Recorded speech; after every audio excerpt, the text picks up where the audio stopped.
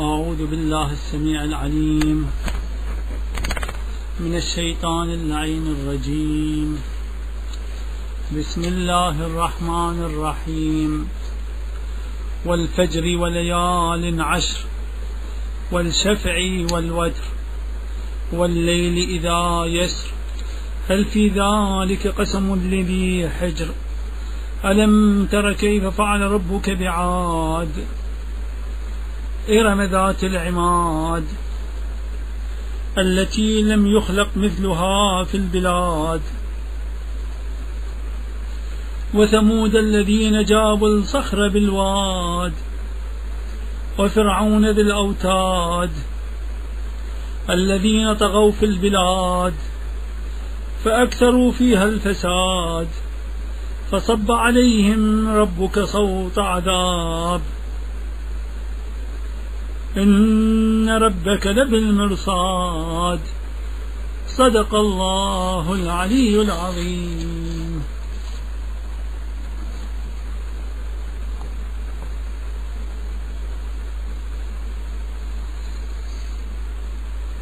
بسم الله الرحمن الرحيم.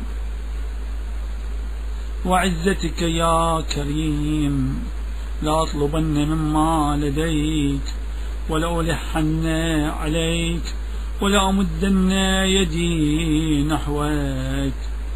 مع جرمها إليك يا ربي فبمن أعوذ وبمن ألوذ لا أحد لي إلا أنت. أفتردني وأنت معولي وعليك متكلي أسألك باسمك الذي وضعته على السماء فاستقلت وعلى الأرض فاستقرت وعلى الجبال فرست وعلى الليل فأظلم وعلى النهار فاستنار. أن تصلي على محمد وآل محمد وأن تقضي لي حوائجي كلها. وتغفر لي ذنوبي كلها صغيرها وكبيرها. وتوسع علي من الرزق ما تبلغني به شرف الدنيا والآخرة. يا أرحم الراحمين مولاي بك استعنت فصل على محمد وآل محمد وأعني. وبك استجرت فأجرني وأغنني بطاعتك عن طاعة عبادك وبمسألتك عن مسألة خلقك وانقلني من ذل الفقر إلى عز الغنى ومن ذل المعاصي إلى عز الطاعة فقد فضلتني على كثير من خلقك جودا منك وكرما لا باستحقاق مني إلهي فلك الحمد على ذلك كله. صل على محمد وآل محمد واجعلني لنعمائك من الشاكرين ولآلائك من الذاكرين.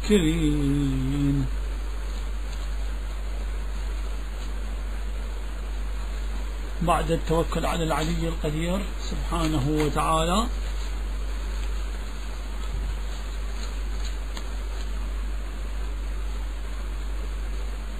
نشرع في بحث جواز التعجيز عقلا.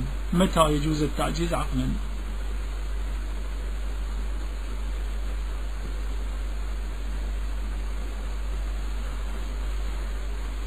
ذكرنا سابقا وبحثنا سابقا في أكثر من بحث وأشرنا إلى أن القدرة هي شرط في الإدانة وشرط في التكليف أو الاعتبار أو الصياغة أو الحكم.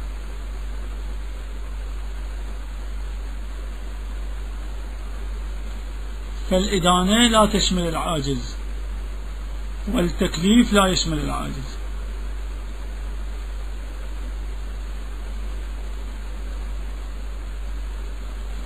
والقدرة التي تكون قيدا وتكون شرطا في الإدانة وفي التكليف مرة تكون موجودة حين توجه التكليف إلى المكلف ثم تزول بعد ذلك.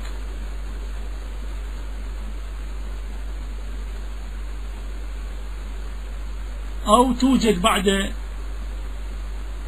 توجه التكليف وتزول.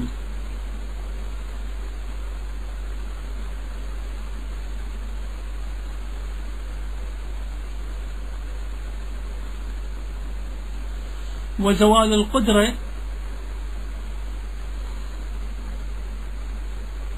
يرجع إلى عدة أسباب. زوال القدرة يرجع إلى عدة أسباب. من الأسباب العصيان. إذا عصى المكلف ولم يأتي بصلاة الظهر لم يتوضأ أراق الماء. إذا لم يكن عنده غير هذا الماء فقد عصى وخالف الأمر بوجوب الصلاة من طهارة مائية في حال الاختيار والقدرة. عصى هذا الأمر. أو عصى أصل الإتيان وأداء الصلاة وفات الوقت. أو عصى عن أصل الحج فلم يذهب ولم يهيئ المقدمات ولم يذهب إلى الحج. فعجز عن عن أداء الحج بسبب العصيان. إذا القدرة هنا زالت عن قدرة المكلف زالت عن عن أداء الحج بسبب عصيان المكلف.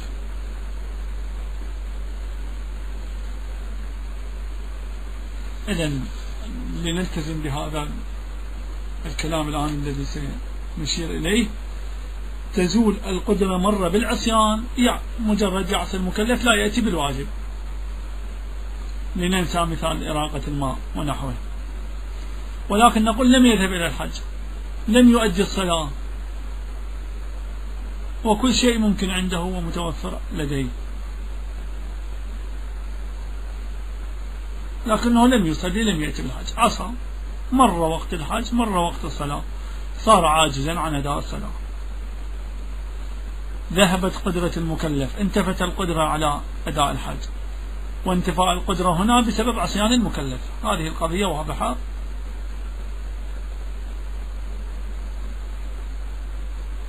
ومرة يكون بسبب التعجيز. المكلف يعجز نفسه كما قلنا أراق الماء. ولا يوجد غير هذا الماء للوضوء وأراق الماء. باختياره عجز نفسه. عن الصلاة من وضوء.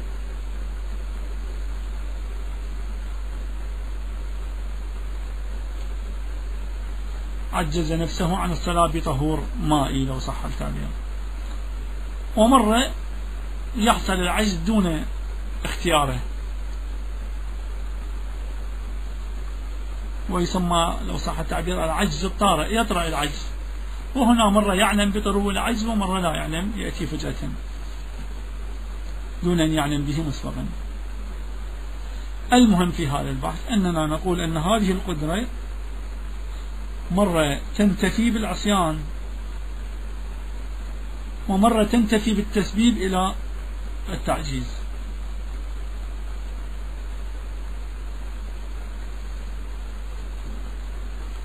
والكلام متى يجوز عقلا التعجيز؟ إذا نحتاج حصة التسبيب إلى التعجيز. إذا قلنا العصيان هو أن يترك المكلف الواجب أو يترك الأمر بصورة عامة وهو قادر على إيجاد متعلق الأمر قادر على الامتثال لكنه لم يمتثل. هذا هو العصيان أما التسبيب إلى التعجيز يسبب التعجيز يسبب انتفاء القدرة لو صح التعبير. يفعل ما يؤدي إلى انتفاء القدرة. القدرة على إيش؟ على أداء الواجب. فهنا عندي في التسبيب إلى التعجيز عندي صورتان. الصورة الأولى. هذا التسبيب إلى التعجيز. ولنأخذ مثال الماء. يسكب الماء عنده فقط هذا الماء ويكفيه للوضوء.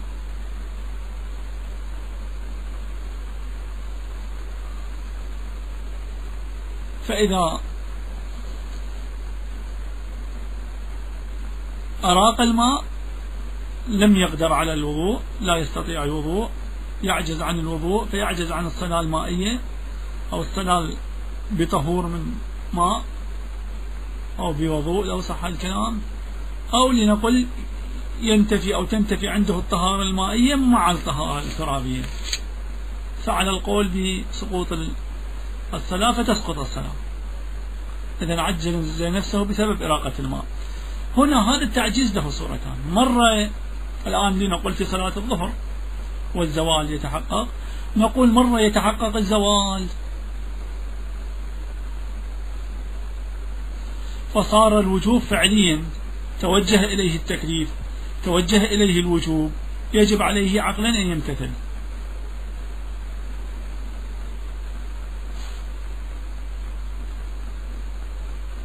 الآن نقول إذا عجز نفسه فهو عاصي. فلا يجوز له التعجيز لأن إراقة الماء فيها معصية.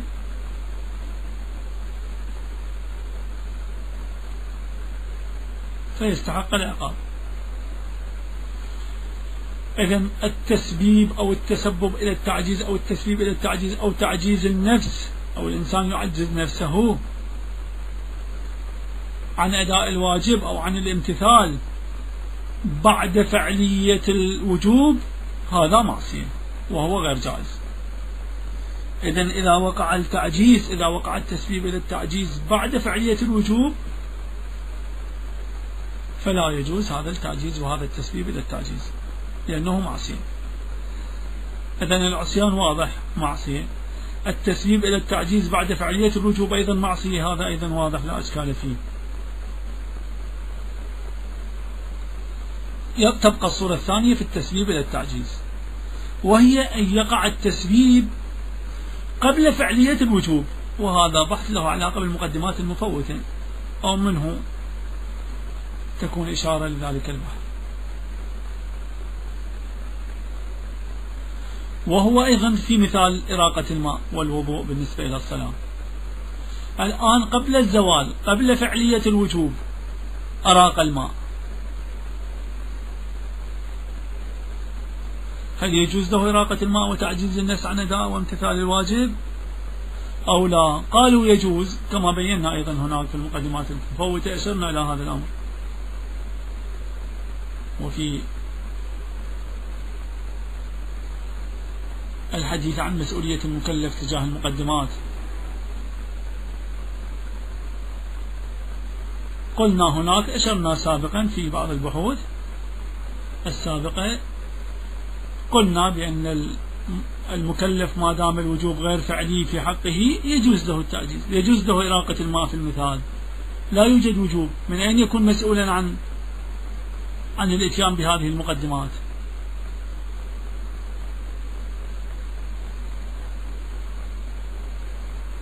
إذن جاز له. طبعا إذا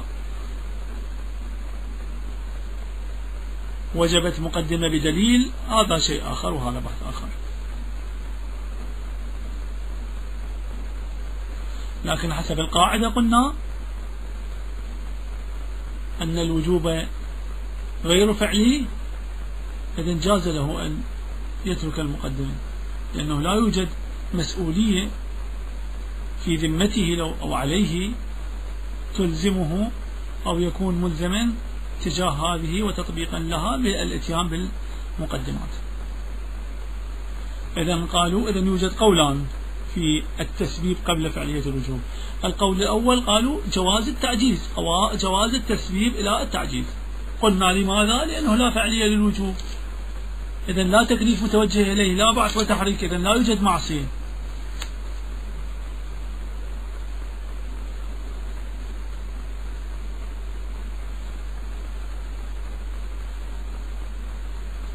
وهناك أشرنا إلى قلنا يوجد بعض المقدمات تفوت دائما.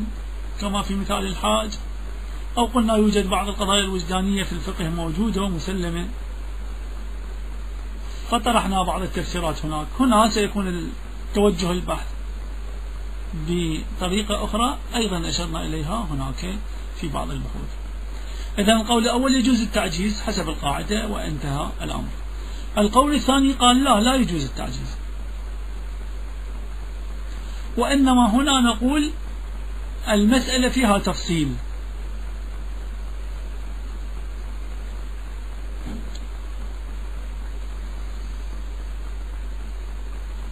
أين التفصيل؟ يقول الكلام في القدرة القدرة والعجز. قدرة المكلف وعدم قدرة المكلف.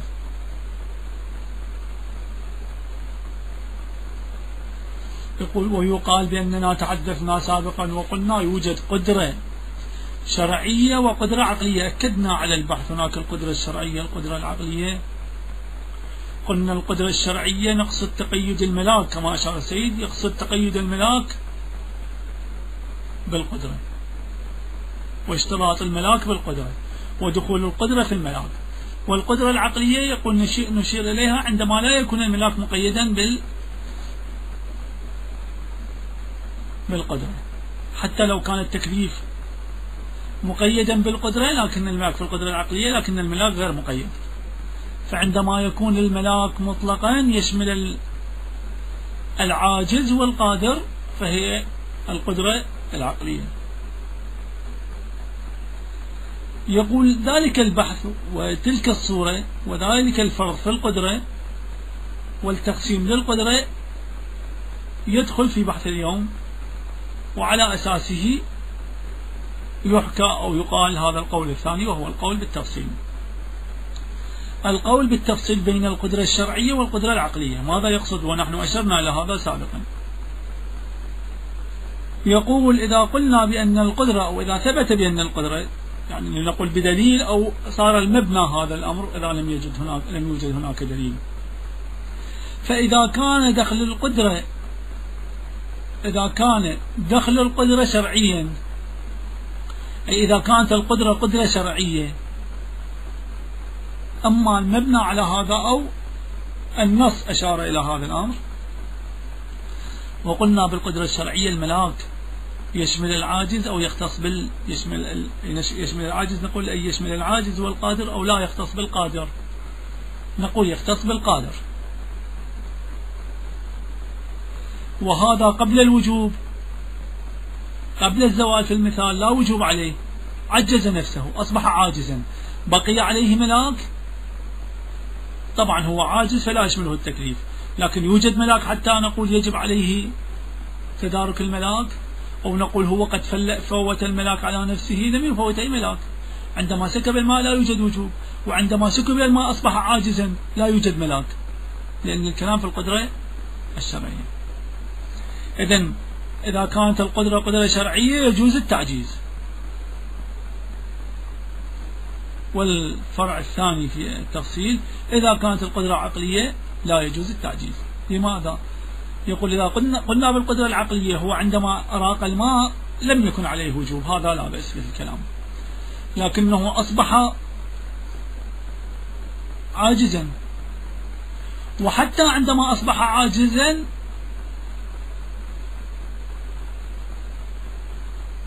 حتى عندما أصبح عاجزا يشمله ملاك الحكم أو لا يشمل ملاك الحكم. نعم يشمله ملاك الحكم. فيه مصلحة. يريد المولى. قلنا ممكن أن يتعلق الملاك في في غير المقدور وتتعلق الإرادة في غير المقدور في المستحيل. هذا كلام تحدثنا عنه. إذا هذا المكلف بنفسه وباختياره فوت ملاك المولى وبنفسه وباختياره خالف إرادة المولى.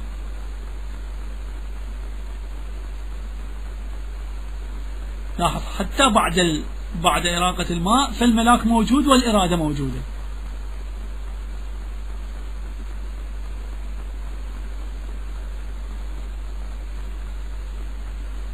فالمكلف إذا يعلم بأنه حتى مع التعجيز سيبقى الملاك ثابتا والإرادة ثابتة فهو بإراقة الماء سيفوت الملاك على نفسه. حتى لو أصبح عاجزا بقي الملاك وبقيت الإرادة.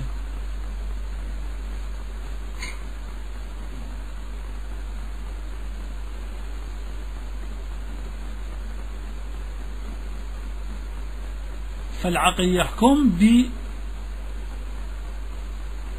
بقبح مثل هذا الفعل. قبح تفويت الملاك ومخالفة إرادة المولى باختياره المكلف عندما يفعل هذا الشيء. يحكم العقل بقبح هذا وعدم جواز هذا الفعل. إذا التفصيل هذا ضمن هذه المرحلة. نريد أن نفهم إذا عندي هل يجوز التعجيز؟ هل يجوز يجوز التسبيب إلى التعجيز؟ قلنا إذا كان الكلام بعد فعلية الوجوب هذا لا يجوز. لا خلاف في هذا. إذا قبل فعلية الوجوب يوجد قولان. قول يقول بجواز التعجيز لأنه لا فعلية ولا محذور بأن يعجز المكلف نفسه لأنه لا فعلية ولا وجوب ولا تكليف عليه فيريق الماء في المثال. وبعد إراقة الماء أصبح عاجزا فلا ملاك عليه ولا يوجد تكليف ولا يوجد ملاك ولا يوجد إرادة. طبعا المحذور إذا كان هناك وجوب وهناك وجوب فعلي ولا يمتثل المكلف هنا المحذور. القول الآخر يقول لا علينا أن نقول بالتفصيل. نقول إذا كانت القدرة قدرة شرعية جاز التعجيز.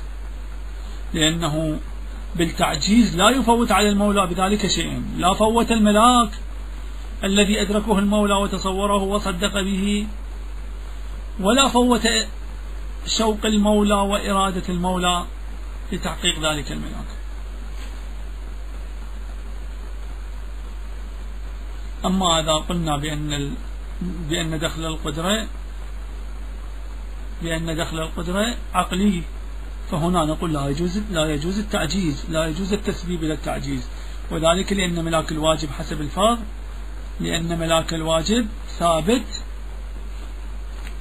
لأن ملاك الواجب ثابت في حق العاجز أيضا.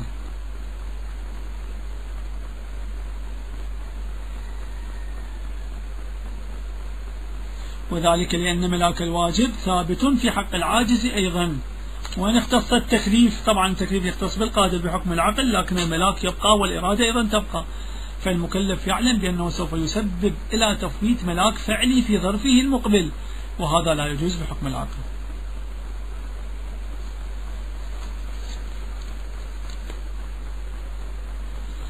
في هذا ممكن توجيه بعض المقدمات المفوتة.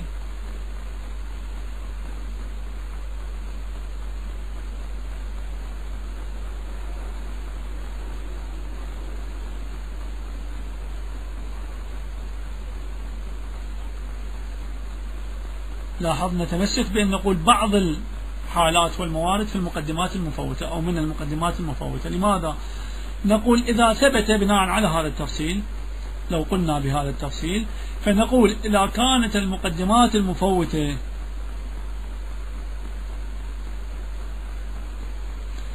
هي مقدمات الواجبات التي يدخل فيها أو التي يكون دخل القدرة فيها عقليا إذا الملاك ثابت حتى على العاجز إذا يجب على المكلف الإتيان بالمقدمات المفوتة ولا يجوز له تفويت تلك المقدمات وترك تلك المقدمات. ففي مثال الحج مثلا لو ثبت بأن القدرة ودخل القدرة هو عقلي إذا يجب عليه الإتيان بالمقدمات ولا يجوز له ترك المقدمات المفوتة. لأنه يعلم أنه سيفوت ملاك فعلي في ظرفه. في يوم التاسع من ذي الحجة في يوم عرفة. وهذا لا يجوز. فعليه أن يأتي بالمقدمات. وفي مثال الصلاة يعلم بأنه سي بفعله براقة الماء سيسبب إلى تفويت ملاك فعلي وهو الصلاة بطهور مائي. أو الصلاة بطهور بصورة عامة كما طرحنا في المثال الآخر. إذا نقول على هذا الفرض يمكن تخريج مسؤولية المكلف تجاه المقدمات المفوتة لكن قلنا بعض الحالات وهي في حالات ما هي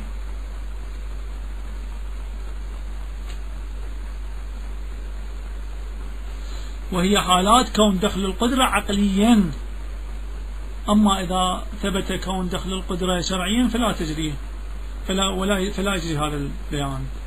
فيقال أي تخريج المسؤولية يقال أن هذه المسؤولية تثبت في كل حالة يكون هذه المسؤولية مسؤولية تجاه المقدمات المفوتة تثبت في كل حالة يكون دخل القدرة فيها عقليا لا شرعيا أما إذا كان شرعيا فلا يجري هذا البيان والبرهان. إذا نقرأ حتى ندخل في الموضوع الذي يأتي بعده. متى يجوز عقلا التعجيز؟ قال قدس سره. تارة هذا أولا. يترك المكلف الواجب وهو قادر على إيجاده وهذا هو العصيان. إذا هذا أولا تارة تكتب العصيان. أولا العصيان وهو أن يترك المكلف وهو أن يترك المكلف الواجب. وهو قادر على إيجاده وهذا هو العصيان. وأخرى هذا ثانيا التسبيب أو التسبب إلى التعجيز. وأخرى يتسبب إلى تعجيز نفسه عن الإتيان بالواجب عن الإتيان به. وهذا التسبيب إلى التعجيز وهذا التسبيب له صورتان.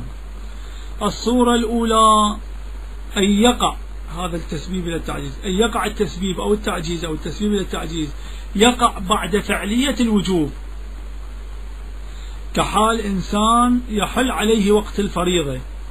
ولديه ماء.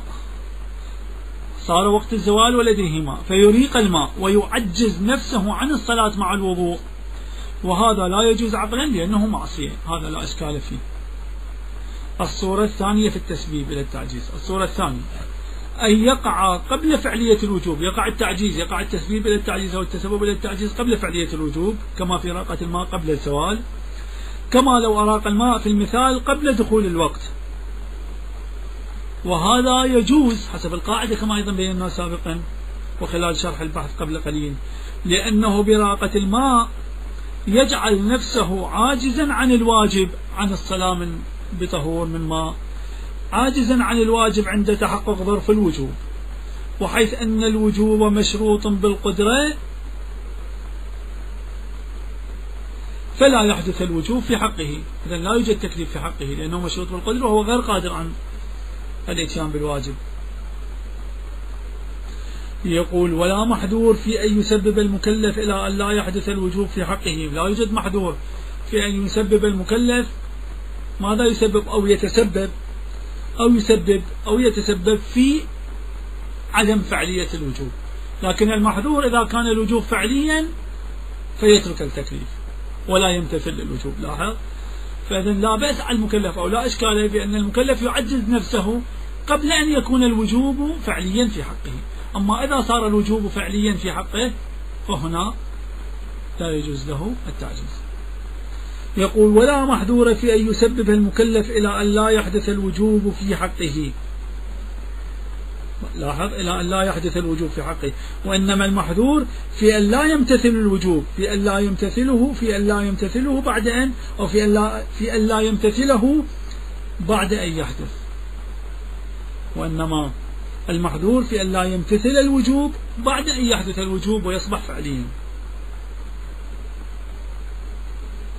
هذه إلى أن لا يحدث الوجوب في حقه أي لا يحدث أو تحدث فعلية الوجوب حتى تكون واضحة وهناك ولا محذور وإنما أن لا يمتثله بعد أن يحدث أو بعد أن تحدث فعليته أو بعد أن يكون فعليا أي شيء تريد أن تعبر. هذه الصورة الثانية.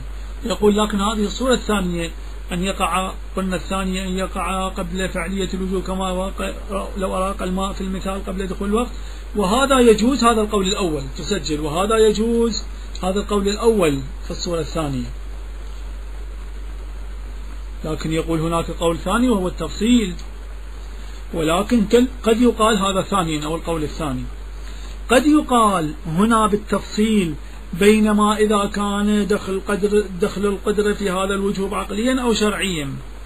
فإذا كان الدخل شرعيا جاز التعذير جاز التعجيز.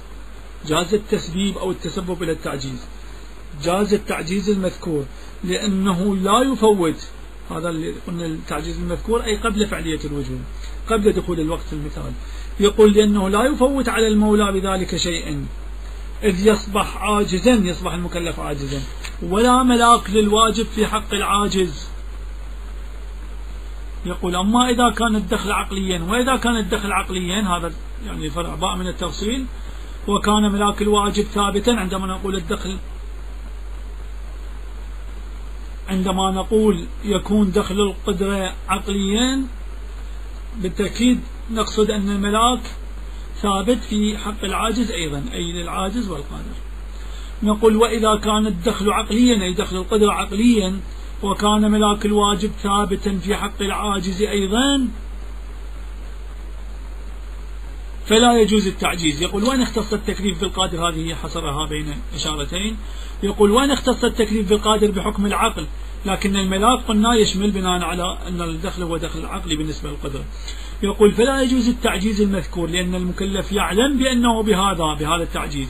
سوف يسبب إلى تفويت ملاك فعلي في ظرفه المقبل وهذا لا يجوز بحكم العقل. يقول وعلى هذا الأساس يمكن تخريج مسؤولية المكلف. تجاه المقدمات المفوتة. كل المقدمات قال لا بعض المقدمات في بعض الحالات. بأن يقال أن هذه المسؤولية تثبت في كل حالة يكون دخل القدرة فيها عقليا لا شرعيا.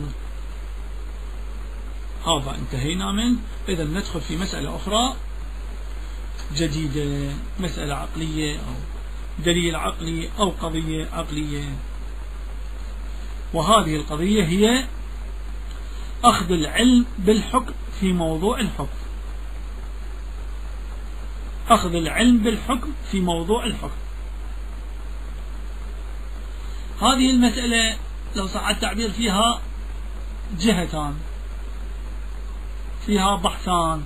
الأول أخذ العلم بالحكم في موضوع نفس الحكم. هذه الجهة الأولى. الجهة الثانية أخذ العلم بالحكم في موضوع حكم آخر. هذه الجهة الثانية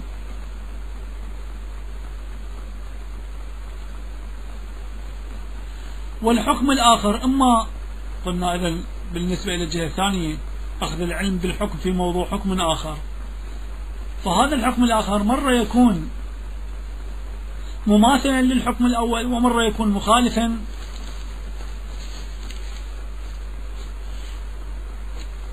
للحكم الأول ومرة يكون مضادا للحكم الأول. إذا إما الحكمان متماثلان أو الحكمان متخالفان أو الحكمان متضادان. هذا سيأتي الكلام أيضا عن في الجهة الثانية.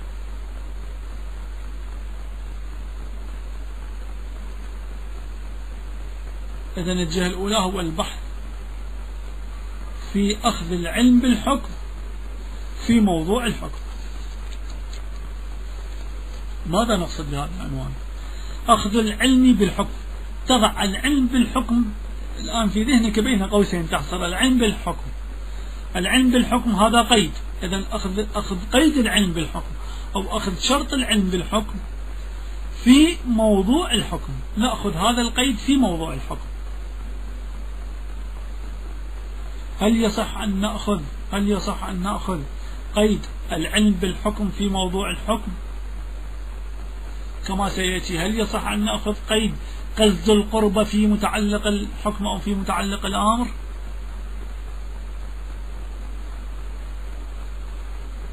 لنفهم ما هو المطلب. إذن الكلام في أخذ العلم بالحكم أي هذا القيد العلم بالحكم في موضوع الحكم حتى نفهم المسألة.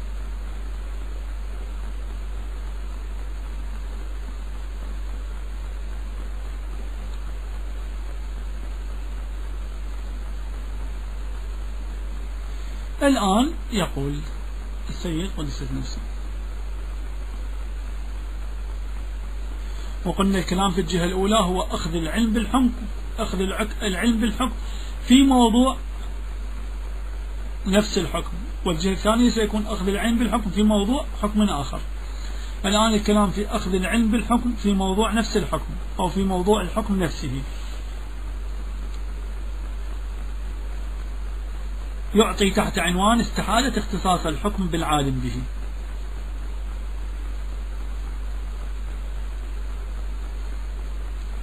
نقول القضية واضحة. إذا أخذنا قيد الحكم العلم بالحكم. أخذنا قيد العلم بالحكم.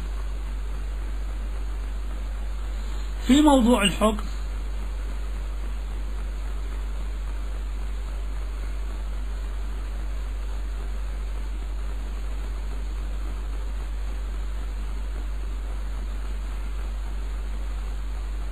نقول تجب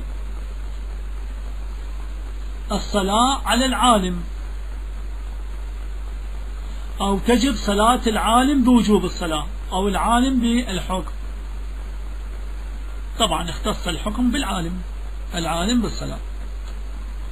إذا إذا أخذ الحكم العلم بالحكم في موضوع الحكم في موضوع نفس الحكم في موضوع الحكم نفسه أي أخذ قيدا للحكم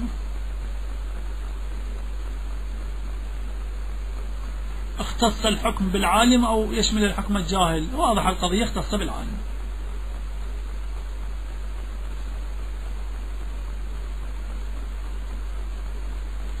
ولا يثبت الحكم للجاهل ولا يثبت للقاطع بالعدم. الذي يقطع بعدم الحكم والذي يشك بالحكم لا هذا عالم ولا هذا عالم إذا لا يشمله الحكم. لأن العلم بالحكم قد أخذ في الحكم أخذ في موضوع الحكم وهو قيد للحكم.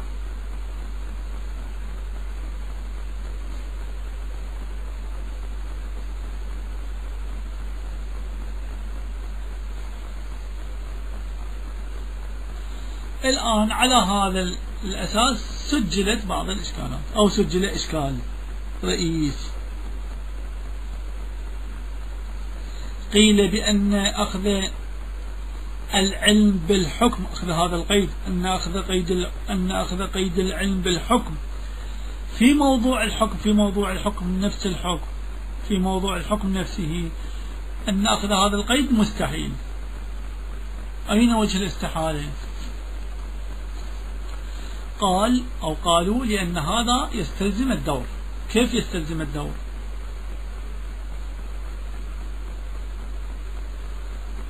نطرح ما قيل أو ما يقال بشكل مقدمات أولى وثانية وثالثة ورابعة والخامسة. بعض المقدمات هي يمكن كل مقدمتين تكون مقدمة واحدة لكن نحن للتوضيح ربما نفصل ونفصل نجزئ للبيان والتوضيح والبعض أيضا هو كتعليل ونحن نعتبره نعطي خصوصية المقدمة نقول الكلام في مقدمات أو في نقاط حتى لا ندخل في إشكال وندافع عن الإشكال. نقول كيف يستلزم الدور؟ أخذ العلم بالحكم في موضوع الحكم نفسه. نقول لإثبات استلزام الدور. نقول أولا أولا أن ثبوت الحكم المجعول. ثبوت الحكم المجعول. ثبوت الوجوب المجعول. ثبوت فعلية عندما نتحدث عن المجعول فعلية الوجوب. إذا ثبوت الحكم المجعول. ثبوت فعلية الوجوب. فعلية الوجوب المجعول يتوقف على أي شيء ذكرنا سابقا. يتوقف على وجود قيوده. والجعل قلنا لا يتوقف. طبعا هي صور حاضرة هذا شيء آخر. وفي الذهن وتحدثنا عنه بالنسبة إلى الجعل. فلذلك لا يكون مشروطا مجرد صدور الخطاب فالجعل موجود ولا يعقل تقييد الجعل. فالمجعول يتوقف على وجود قيوده. إذا لاحظ هذه أولا أو المقدمة الأولى. ثبوت الحكم المجعول ثبوت الوجوب المجعول ثبوت الأمر المجعول متوقف على وجود قيوده. ثانيا حسب الفرض ماذا نريد أن نثبت الكلام؟ نقول قالوا أخذ العلم بالحكم في موضوع الحكم. إذا العلم بالحكم من قيود الموضوع؟ ونحن قلنا في المقدمة الأولى ثبوت الحكم المجعول متوقف على وجود قيوده. ثانيا أن العلم بالحكم أن قيد العلم بالحكم أن العلم بالحكم بين قوسين العلم بالحكم أن العلم بالحكم من قيود الحكم من قيود الحكم المجعول حسب الفرض. إننا قلنا هو أخذ في موضوعه. ونحن الآن نريد أن نثبت الاستحالة فلنسير نسير معهم فيما يريدون. القائلين مع القائلين بالتقييد. نقول إذا أولا ثبوت الحكم المجعول متوقف على وجود قيوده وأن العلم بالحكم من قيود الحكم المجعول. إذا ثبوت الحكم المجعول متوقف على طبعا على كل قيود ومن القيود متوقف على العلم بالحكم. إذا أحصل على نتيجة وهذه تكون لتكون الخطوة الثالثة والمقدمة الثالثة. نقول فيها إذا ثبوت الحكم المجعول متوقف بدل وجود قيوده نقول وجود العلم بالحكم لأن العلم بالحكم أيضا من القيود. إذا ثالثا أي ثبوت إذا ثبوت الحكم المجعول متوقف على العلم بالحكم. ثالثا إذا النقطة الثالثة أو المقدمة الثالثة ثبوت الحكم المجعول متوقف على العلم بالحكم. نعيد. المقدمة الأولى. ثبوت الحكم المجعول متوقف على وجود قيوده. الثانية المقدمة الثانية. أن العلم بالحكم من قيود الحكم المجعول حسب الفرض. ثالثا ثبوت الحكم المجعول متوقف على العلم بالحكم. أي ماذا نقصد بالمقدمة الثالثة؟ أي الحكم لا داعي أن نذكر المجعول صارت القضية واضحة. أي الحكم. ولا نقصد الجعل لأن الجعل لا يتوقف على شيء. الحكم أي لا يتوقف على وجود شيء. الحكم أي نقصد الحكم المجعول أي الحكم متوقف على العلم بالحكم. حتى تكون ويتصور الدور بصورة واضحة. بدل أن نقول الحكم المجعول متوقف على العلم بالحكم صارت المجعول واضحة عندي فيكون الحكم متوقف على العلم بالحكم. المقدمة الرابعة أو رابعة النقطة الرابعة لكن لكن العلم بالحكم لاحظ العلم بالحكم متوقف على أي شيء. أنت متى تعلم بالشيء؟ عندما يكون شيء موجودا إذا لا يوجد شيء تعلم به. إذا العلم بالشيء يتوقف على وجود معلومه حتى تعلم به. لو نقول عن طريق السمع تسمع تعلم بوجود الكلام أو اللفظ. ترى تنطبع الصورة فتعلم بوجود هذا الشيء في الخارج. إذا العلم يتوقف على وجود معلومه. توقف العلم على معلومه بالتأكيد هذا القضية واضحة. أين وجود المعلوم؟ هذا شيء آخر. إذا المقدمة الرابعة نقول لكن العلم بالحكم يتوقف على معلومه. العلم بالحكم. وما هو المعلوم هنا؟ هو الحكم. إذا العلم بالحكم يتوقف على الحكم. إذا رابعا المقدمة الرابعة لكن العلم بالحكم متوقف على الحكم بين قوسين نسجل من توقف العلم على معلومه وهذه القضية واضحة. لاحظ الثالثة المقدمة الثالثة الحكم متوقف على العلم بالحكم. والرابعة العلم بالحكم متوقف على الحكم. إذا ماذا ينتج هذه المقدمة الخامسة من الثالثة؟ والرابعة ينتج عندي الحكم متوقف على العلم بالحكم والعلم بالحكم متوقف على الحكم أي أن الحكم متوقف على الحكم. وهذا دور واضح. واضح الدور؟ نعيد لا بأس بالإعادة. المقدمات سأقرأ المقدمات. أقول المقدمة الأولى. الآن نريد أن نثبت الدور. نقول لنسير معهم ونثبت الاستحالة ونثبت الدور. نقول المقدمة الأولى ثبوت الحكم المجعول متوقف على وجود قيوده ثانيا أن العلم بالحكم من قيود الحكم المجعول. ثالثا إذا ثبوت الحكم المجعول متوقف على العلم بالحكم. نحذف المجعول صارت واضحة القضية. إذا نقول أي في المقدمة الثالثة نقصد بها الحكم متوقف على العلم بالحكم. نأتي إلى المقدمة الرابعة. لكن العلم بالحكم متوقف على الحكم. لماذا؟ لتوقف العلم على معلومه. ومن الثالثة والرابعة ينتج الخامسة أن الحكم متوقف على العلم بالحكم. والعلم بالحكم متوقف على الحكم. أي أن الحكم متوقف على الحكم. وهذا دور واضح. وهو مستحيل طبعا تثبت الاستحالة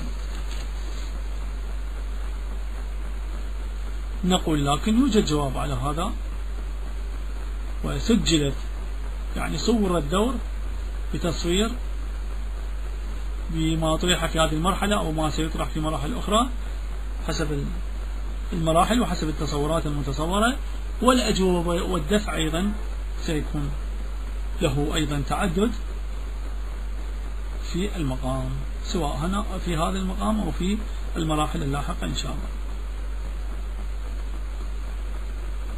الآن نقول الجواب. ولا بس نحن نكتفي إلى حد ما هنا لمطلب معين ونعيد إن شاء الله في البحث القادم إلى بقية الحياة للفائدة ولأهمية الموضوع ولدقة البحث. نقول إنما ذكر الجواب. إنما ذكر في المقدمة الرابعة غير تام على إطلاقه. ما هي المقدمة الرابعة؟ العلم بالحكم متوقف على الحكم. لا ننسى. العلم بالحكم متوقف على الحكم توقف العلم على معلومه.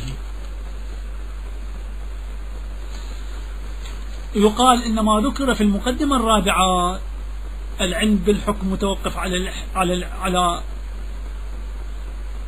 الحكم. هذه غير تامة على إطلاقها. ما ذكر في المقدمة الرابعة غير تام على إطلاقه. أي أن القول بأن العلم بالحكم متوقف على الحكم غير تام. لماذا؟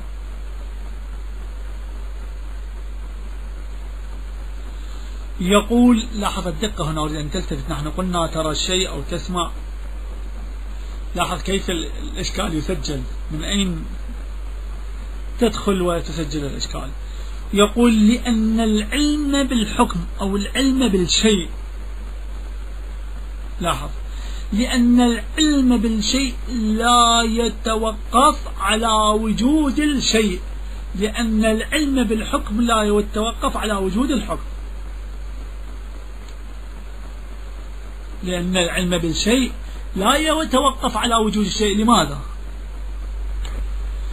لأن لو توقف العلم بالشيء لو توقف العلم بالشيء على وجود الشيء لصار كل علم صائبا ومصيبا وصحيحا لا يوجد خطأ لأنه متوقف على وجود الشيء. وكم من العلوم الخاطئة؟ التفت إلى الدقة. لو كان العلم بال بالشيء متوقف على وجود الشيء أي لا يوجد علم بالشيء ولا يتحقق العلم بالشيء إلا إذا وجد الشيء. إذن أصبحت كل العلوم صادقة وصائبة لا يوجد أي خطأ. وهذا غير واقعي. نأتي إلى الدقة هنا. يقول بل إذا ما هو الحال؟ إذا على أي شيء يتوقف العلم بالشيء؟ عندما نقول العلم بالشيء أنت تعوض في ذهنك العلم بالحكم. نقول بل العلم بالشيء يتوقف على الصورة الذهنية للشيء. ومرة الصورة الذهنية خاطئة. الصورة الذهنية أي المعلوم يسمى المعلوم بالذات. أي العلم بالشيء يتوقف على المعلوم بالذات. ومرة المعلوم بالذات لا يطابق المعلوم بالعرض. فلا تحصل الإصابة ومرة يطابق فيكون العلم مصيبا أريد أن تلتفت إلى هذه الدقة. هذه الدقة أيضا طرحت أين في المدلول التصوري في الدلالة التصورية في الدلالة الوضعية. قلنا الدلالة الوضعية هي علاقة بين أي شيء. التفت إلى ركزنا على هذا الأمر. قلنا حتى لو قلنا لفظ ومعنى نقصد صورة اللفظ وصورة المعنى. لاحظ كيف الدقة وكيف تدخل المباحث وهذه النكات العلمية في الكثير من البحوث. تشحذ الذهن في كل مكان. قلنا صورة لفظ وصورة معنى. هنا العلم أيضا يتوقف على الصورة الذهنية للشيء. ومرة الصورة نحن نتصور صورة حقيقية للشيء ومطابقة للشيء الموجود الخارجي. ومرة تكون الصورة غير مطابقة للخارج نحن نخطأ في الصورة نخطأ في انطباع الصورة وفي استحضار الصورة لو صح التعبير فالعلم هو بهذه الصورة الذهنية. فإذا طابقت الصورة الذهنية الواقع الخارجي فالعلم صادق. عفوا صادق. والعلم فالعلم صائب وصحيح ومطابق للواقع. وإذا خالفت الصورة الذهنية أي خالفت الواقع الخارجي أو المعلوم الخارجي فالعلم خاطئ. إذا طابقت العلم صائب وإذا خالفت العلم خاطئ غير صائب. بتعبير آخر نقول إذا عندي معلوم ذهني وعندي معلوم خارجي. فالعلم معلومه هو المعلوم الذهني بالذات يسمى. فالعلم يتوقف على المعلوم الذهني على وجود معلوم ذهني. الآن نقول المعلوم الذهني إذا طابق المعلوم الخارجي فالعلم صائب ومصيب. وإذا كان المعلوم الذهني غير مطابق للمعلوم الخارجي فالعلم غير مصيب العلم خاطئ. النتيجة التي نريد أن نحصل عليها. نقول بأن العلم يتوقف ما هو معلوم العلم؟ المعلوم الذهني وليس المعلوم الخارجي. الصورة الذهنية وليس الوجود الخارجي. الشيء الذهني أو الصورة الذهنية للشيء وليس الشيء الخارجي وليس وجود الشيء الخارجي. هذه نكتة لطيفة. لتبقى في أذهاننا. هذه الصورة الذهنية هذا المعلوم الذهني يسمى المعلوم بالذات. أي وضع العلم هذا الذي يعلم به. نعلم أو يعلم العالم أولا وبالذات يعلم بالصورة الذهنية يعلم بالمعلوم الذهني. ويعلم بالعرض بالمعلوم الخارجي. لدلالة هذه الصورة الذهنية على الخارج. على نحو المرآة على أي شيء تدل على جانب آخر انطباق الكل أي شيء هذا يأتي بحث إن شاء الله. إذا بقيت حياة في بعض البحوث التي تأتي.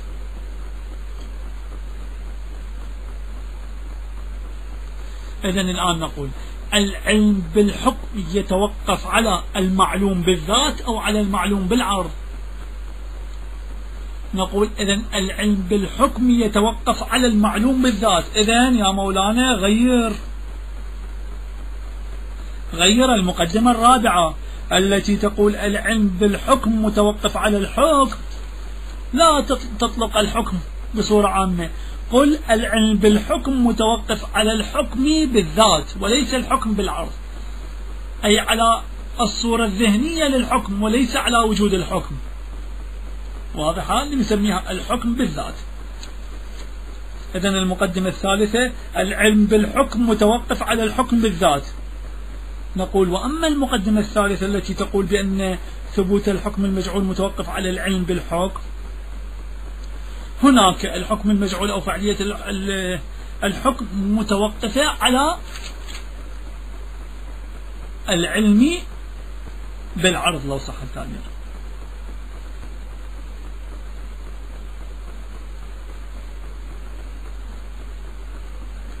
إذا لنصل إلى المقدمة الرابعة. قلنا وصلنا إلى هذه النتيجة بأن العلم بالحكم يتوقف على المعلوم بالذات.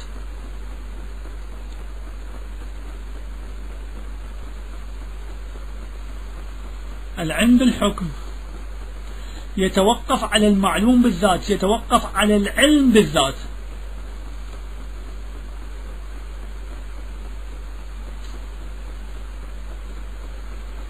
يتوقف على الحكم بالذات. أي على صورة الحكم على الصورة الذهنية للحكم.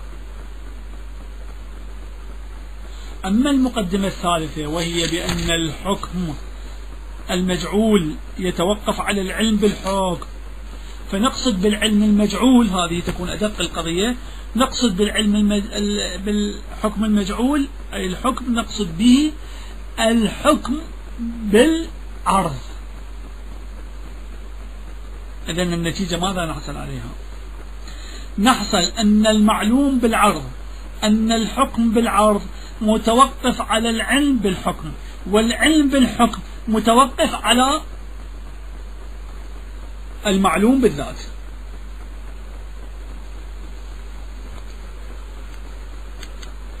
إذا لا يوجد عندي دور. هذه تحتاج القضية إلى الإعادة بالتأكيد حتى تكون واضحة عندي وعندكم إن شاء الله. نلتقي إن شاء الله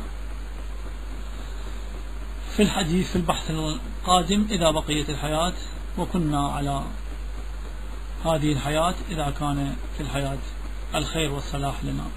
نسأل الله تعالى أن يجعل هذا فيه الخير والصلاح. وإلا فنطلب أن نكون إن شاء الله مع الصالحين و ينتهي ما كتب لنا وما سجل لنا في هذه الحياة. إذا لم يكن فيها الخير والصلاح لنا. بحق محمد وآل محمد وقائم آل محمد. والحمد لله رب العالمين والعاقبة للمتقين. وصل اللهم على محمد وآل محمد. وعجل فرج قائم آل محمد. وأسألكم الدعاء.